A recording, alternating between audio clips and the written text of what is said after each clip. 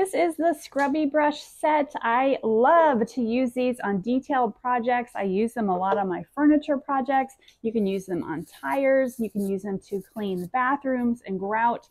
Uh, very, very fun and easy to use. So that they have different sort of softness levels to them. The green ones are much stiffer. So if you buy the green pack, they're a lot stiffer, whereas the white one, there's more flexibility in the bristles. They come in a few different shapes and sizes depending on what job you're trying to do. So a smaller head here and then a cone shaped one. And then these are the really large ones. Really, really easy to use.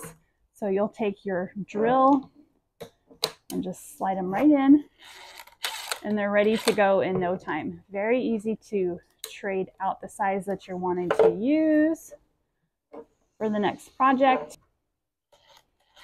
And it's ready to go. So these are really fun, make cleaning projects funner, and they clean in about half of the time than before because you don't have to use so much of your own muscle strength to get things clean. This will do the job for you.